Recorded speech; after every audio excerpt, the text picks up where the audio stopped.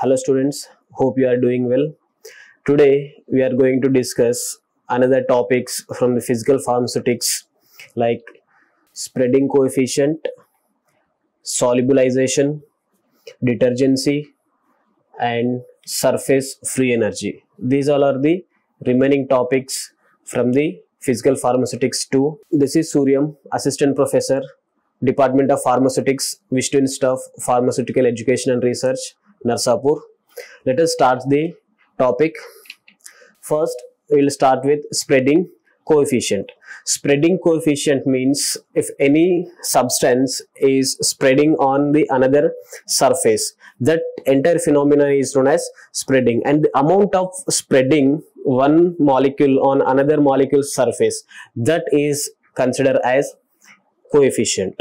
As per the definition, it is a parameter to measure of the tendency of a liquid to spread on the second surface is called spreading coefficient. Example, if you observe the oleic acid in water or ointment creams on the skin.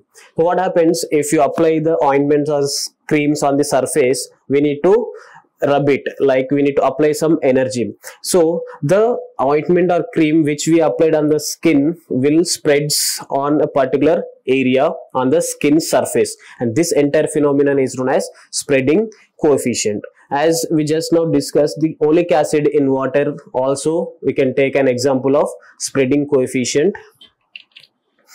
In this diagram we will be having two surfaces so this is number one surface and this will be the second surface. So if we take this is a first surface on this surface the oil molecules may spreads throughout the second surface. This entire phenomena is known as spreading coefficient.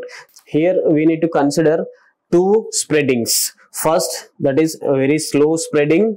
And second thing is that is fast spreading. So this spreading fast or slow spreadings will be depends on various reasons. Where the nature of the uh, substance and the nature of the surface uh, the nature of the second surface which is uh, to be spread over through it like just now we discussed spreading coefficient will be in uh, faster in case of uh, in case of some substances and it will be very slower in case of sub substances. So the reasons basically the spreading coefficient depends on various factors like surface tension already we discussed in the previous classes what is surface tension and uh, the detailed uh, class we discussed.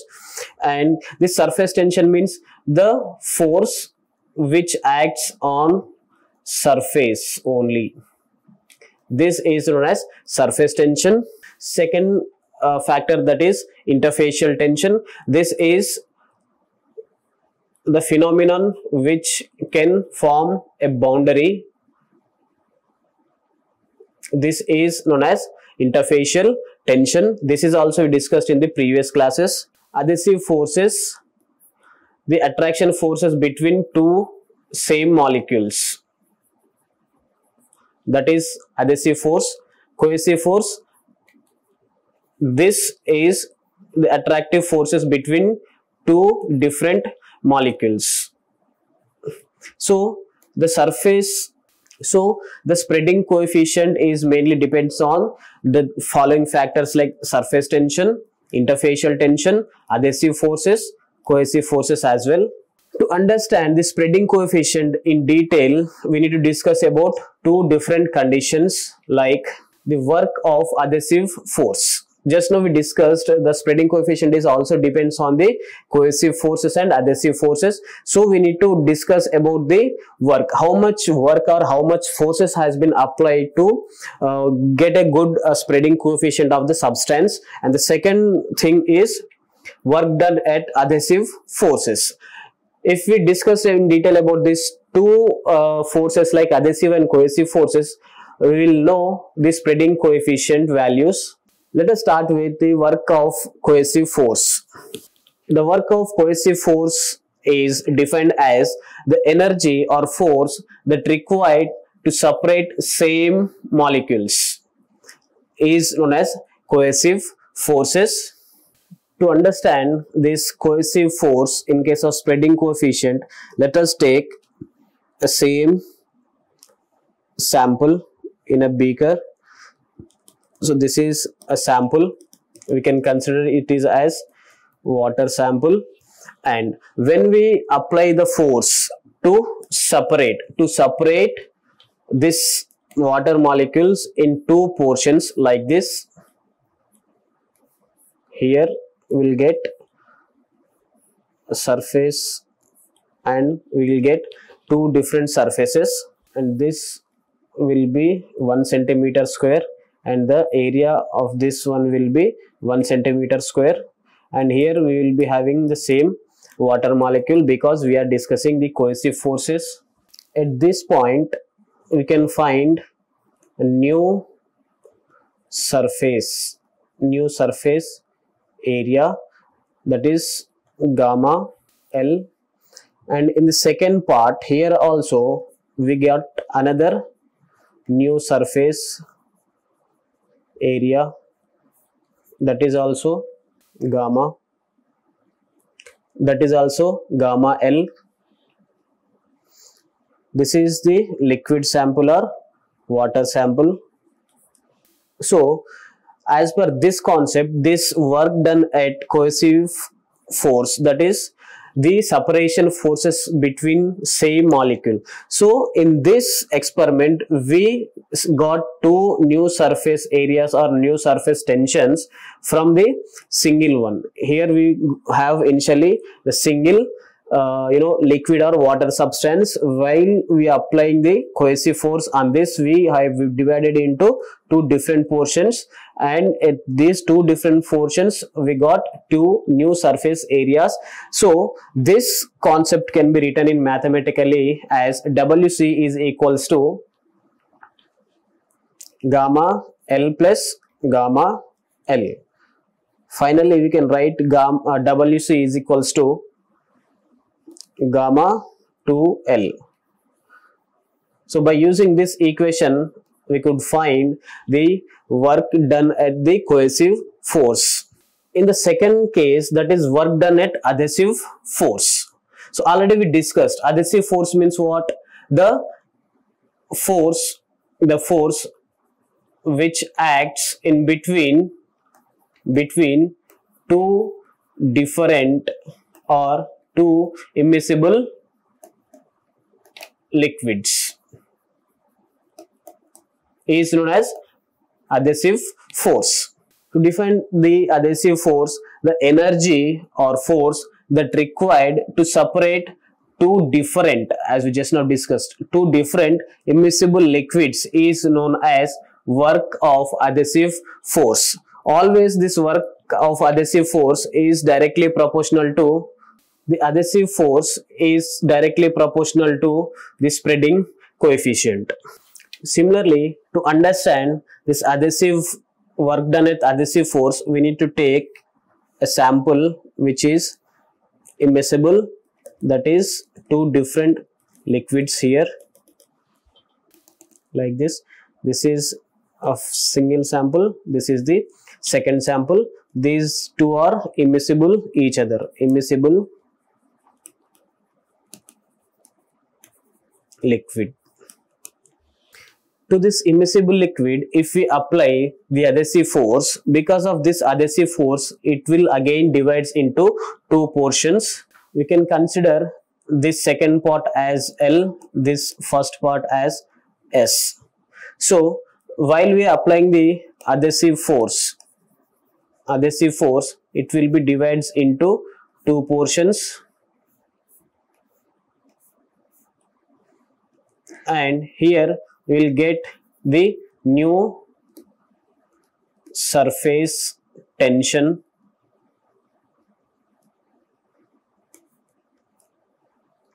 That is gamma L. This is liquid sample. And here we also get another new surface tension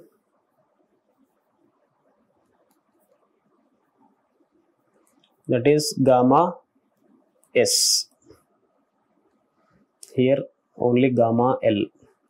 and at this portion we as we have a immiscible liquid so the surface tension of this immiscible liquid will be written as gamma ls so the work done at adhesive force can be written as surface tension of the liquid and surface tension of the solid minus the interfacial tension this can be used to measure or to know the work done at adhesive force. Let us consider this is as second equation. As we discussed, the spreading coefficient, the spreading coefficient that is S is equals to WA minus WC. That means work done at adhesive force and work done at cohesive force. So let us substitute the WA and WC values in the above equation. So it can be written as WA gamma L plus gamma S minus gamma LS minus WC values 2 gamma L. Here 1 L, 1 gamma L gets cancelled. So finally this spreading coefficient gamma S minus gamma LS plus gamma L. By using this equation, we can calculate the spreading coefficient. Now we'll discuss the applications of spreading coefficient it is the major factor to consider in preparation of ointments lotions and creams. Because uh, in the example we discuss about uh, the ointments creams and lotions while we are applying on the skin so we it, the ointment or lotion should be spreads easily and uniformly. So that is the reason we need to maintain proper spreading coefficient values in preparation of these lotions creams and ointment as well. To maintain stability of emulsions like we'll be having different types of emulsions. Oil in water of uh, uh, type of emulsion and water in oil type of emulsion. And we'll be having multiple emulsions. Multiple emulsions again different types like oil in water in oil type water in oil and water type of emulsions. So we need to maintain proper stability by adjusting the spreading coefficient in tablet coating in tablet coating especially in film coating tablet especially in film coating this spreading coefficient should be maintained because uh, this film coating tablet will be finished very smoothly. It is we need to uh, finish it very smoothly. So that means we need to adjust the spreading coefficient. We need to ensure that all the tablets are undergone proper spreading uh, by this uh, by the dye or not. We need to ensure that. It also helpful in the absorption of medicament like creams and lotions. So we need to have a proper spreading proper spreading on skin. That is about the spreading coefficient in detail. Next we'll start another topic that is solubilization. In general solubilization is can be defined as the efficient of dissolving a substance into a solution. That is considered as solubilization the ability of a substance to dissolve in a solvent is also known as solubilization. Here we have another definition that the spontaneous interactions of two or more substances to form a homogeneous molecular dispersion. This is also called as solubilization. So here if we have two different substances, two different substances, let us consider this is substance 1 and we have another substance. So this another substance when we mix together they will get uniformly soluble in each other. That means there should be dissolving process should be there and this phenomenon is known as this phenomenon is known as solubilization. Example let us take an example like sodium chloride in water in water. When we add the sodium chloride or salt in water immediately the sodium chloride will be get dissolved in the water. So here the water will act as a solute. Here this water will dissolve the salt or sodium chloride. This also known as solubilization. Oleic acid in water. So when we are comparing this sodium chloride in water and oleic acid in water this will be high soluble substance and this oleic acid this oleic acid in water we can tell uh, we can say it as a poor solubility. And to enhance this poor solubility to maximum solubility by means of to increase the solubility or uh, to enhance the solubility we can uh, do it by adding the surfactants. So different surfactant we discussed in the previous in the previous classes positive surfactant negative surfactant amphoteric surfactant and you know like non-ionic surfactant. So based on the requirement we can add any type of these surfactant so that the solubility will be enhanced. By means of the solubility will be increases. Say for example we discussed just now oleic acid in water. As we know that this is having poor solubility property. So what we need to do? We need to enhance the solubility enhance the solubility property of the oleic acid. For that we need to add some surfactant.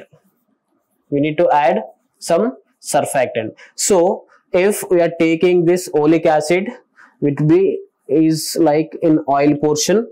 So when we add surfactant to this oleic acid substance all tail portion will form like this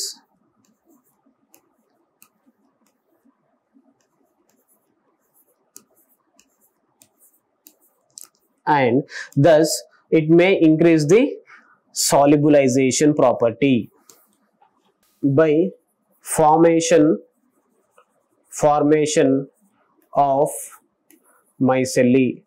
We discussed in detail about this micelle in the previous classes. Now we'll discuss uh, the applications of the solubility. So to uh, maintain the bioavailability, we definitely need to have more solubility. If you have a low solubility property of the substance or of the drugs, the bio uh, the bioavailability will be very less. And to form co-crystals and polymorphs to improve the drug delivery in some formulations like emulsions, especially emulsions. In controlled drug delivery system, especially in lipid-based formulation. So we need to, uh, you know, maintain the proper solubility or we need to uh, you know enhance the solubility if the uh, solubility is poor uh, definitely the solubility will be poor for some substances to avoid this problem to overcome from that problem we need to add surfactants. By adding this surfactant, we can enhance the solubility. So when we increase the solubility, we can find all these applications of the particular solubility. And the third uh, topic is detergency. So this detergency is one of the important topic from this physical pharmaceutics.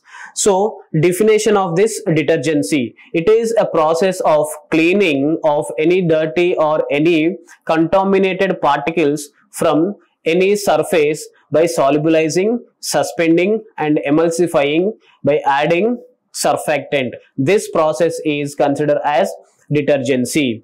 To explain this, we need to remove the dirty particles or unwanted or you know contaminated particles from a substance. And during this removing or uh, cleaning uh, process we need to undergo three different mechanisms. So the detergency can be done in three techniques as follows. First one solubilizing. First we need to solubilize the surface which contains the dirty particles or you know unwanted particles. And then we'll go with the suspending. We need to suspend the surface which contains dirty and then emulsifying so these three steps will helps to get an ideal detergency.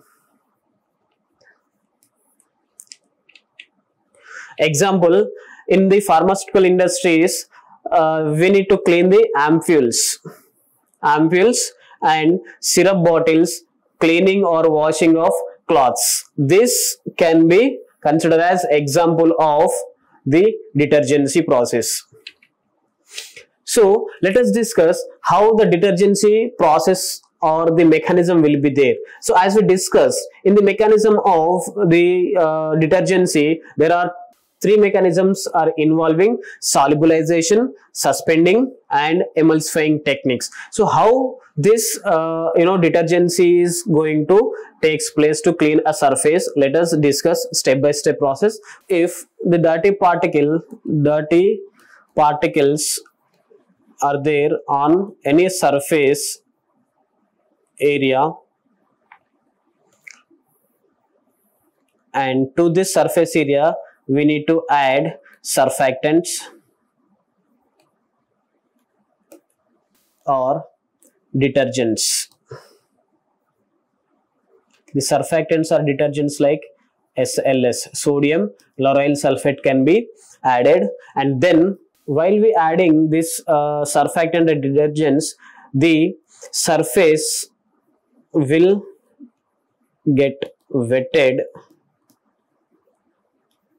After that this cleaning process will done in three steps. First one removal of solid dirty particles in the second step removal of insoluble dirty particles. In the third process, removal of soluble dirty particles.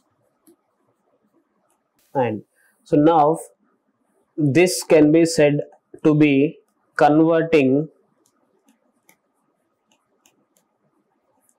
to foam. So here this mechanism is known as dirty in solution and the first technique that is solubilization. And this technique suspension or suspending technique. Suspending technique. And this is emulsifying technique.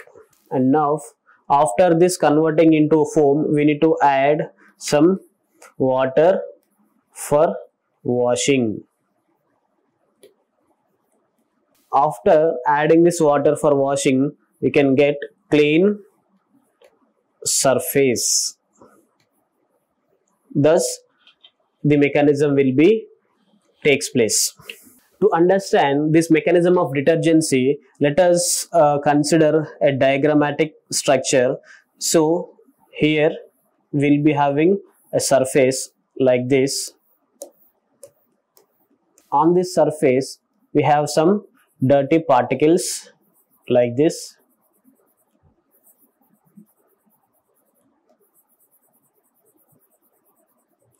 and these dirty particles has to be removed. This entire phenomenon is known as detergency. So how these dirty particles will be uh, you know cleaned as per the previous mechanism by adding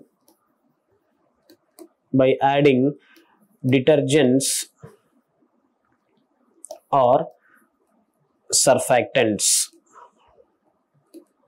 So what will happen? This detergency will be depends on three different mechanisms just now we discussed first one solubilization second one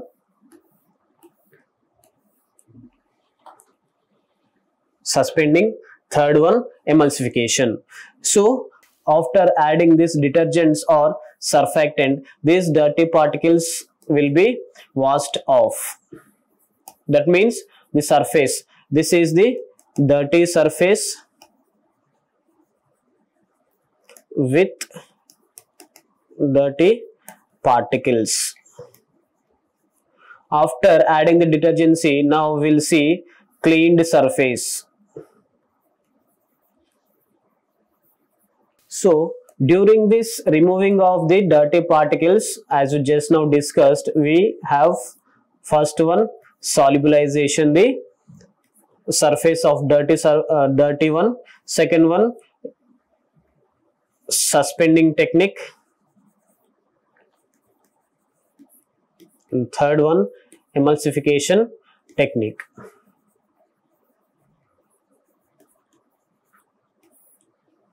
now this surface is said to be remove removed dirty particles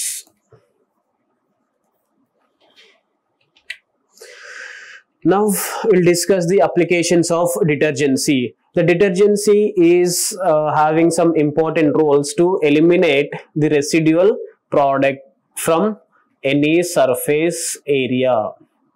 Any surface area. To avoid the microbial contamination. If we uh, not uh, washed properly to the particular substance uh, like you know surfaces like ampoule bottles syrup bottles particularly which we used in the pharmaceutical industries that will undergoes the contamination especially microbial contamination that may reduce the shelf life half life of the particular product. So to avoid that problem the detergency or this technique should be done properly. And another thing here is to clean the equipments in pharmaceutical industries like tablet uh, you know coating machines tablet compression machines and size reduction equipments. All these things will be uh, you know uh, contaminated uh, by batch by batches. Uh, after one batch we need to uh, start cleaning for the next batch by using this detergency techniques. This is in detail about the detergency. Next we'll start another topic surface free energy. The surface free energy is also one of the most important topic from this uh, physical pharmaceutics. Surface free energy may define as the work that required to increase the area of a liquid is known as surface free energy or we have another definition the potential energy of molecules which help them to remain on the surface is known as surface free energy. If more surface energy that may leads to, if more surface energy that may leads to more surface area and the more surface area may leads to more molecules Similarly, as if you have low surface area or lesser surface free energy that may leads to less surface area and this less surface area may leads to less amount of molecules. As per this above concept, we can say the surface free energy is directly proportional to the surface tension or we can say surface free energy is equals to surface tension. To understand this surface free energy concept we need to take an example that we need to add a drop of soap water on soap film's surface. So this surface should be contains four edges like a b c and d. Let us discuss in detail about this. So in the above example we need to have a film surface as we discussed in the above example we need to have a film surface which contains four edges a b c and d. On this surface we just add we need to add the soap drop here. This is the soap film or surface. This is the drop of soap water. And this will be the L length. We can consider as initial length. And once we applied some force some hanging force to this surface film surface the force will be acted in like this hanging force. So what happens? This length will be increases. So the drop of slope will be increase its in distance from a to a dash d to d dash. So as per this above concept work done can be written as force into distance. It will be written as f into d. So we are uh, applying the hanging force at the same time at the same time the surface tension surface tension also acts on the surface of soap film. That can be written as F is equals to gamma into 2L since the film now having two lengths first initial length that is before applying the hanging force and then after applying the hanging force.